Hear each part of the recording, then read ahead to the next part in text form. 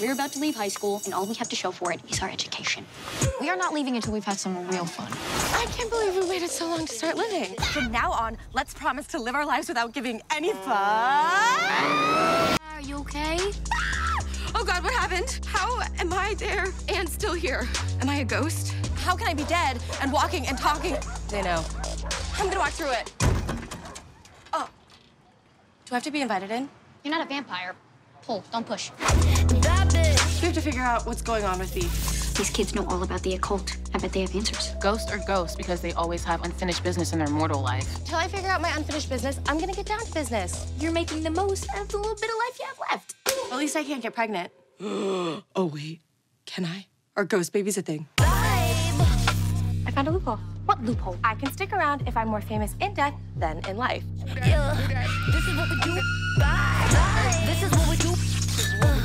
Everybody, I am scared. This is what we. It's Erika Boo, bitch. Hashtag Yaz. I like Erika. Uh, I totally boned a super hot ghost. It's problematic. Cancel it! Planning on posting from the afterlife? Why are you being so hostile? I'm evolving, and as my close friend, you should allow me to grow my following.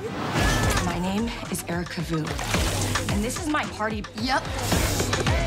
So if you don't like it, there's the door. Bitch. Yeah, me too. You may unearth some crazy, dark shit. Now you'll need the bones of a mourning dove and a packet of hemlock.